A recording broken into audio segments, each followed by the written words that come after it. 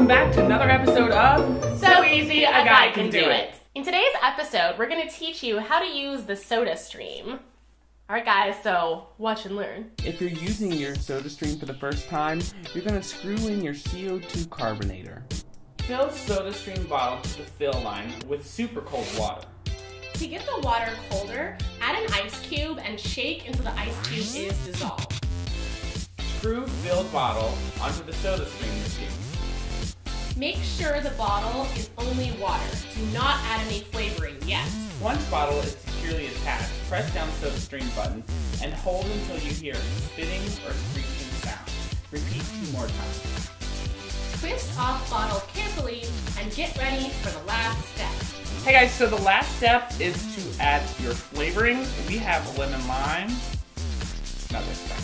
So yes, you want to make sure you always add the flavoring after you carbonate. So you never want to like try and carbonate flavored water. Ooh, what's that? smells fresh. Do you shake it afterwards? No. I think like the carbonation mixes it around. I don't know. My boyfriend usually makes it for me. Alright, so there we have it. Ooh, okay, so now Lemon lime. time for a taste test. I'm the one who doesn't have trees.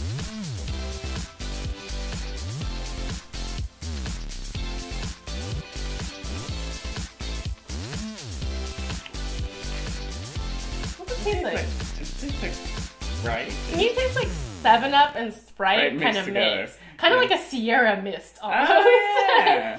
Sierra Mist. Sierra Mist. And it bottle.